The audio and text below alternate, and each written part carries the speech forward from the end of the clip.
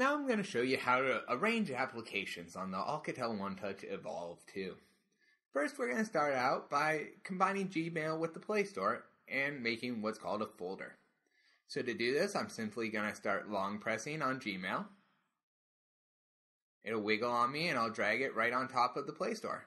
As you see when I do that, it made a folder. I can rename the folder by selecting at the top there. I simply have to uh, erase whatever text, and I'm going to name this one play. Then to save it, I just hit the backwards facing arrow, clear out of there. I've now created my very own play folder.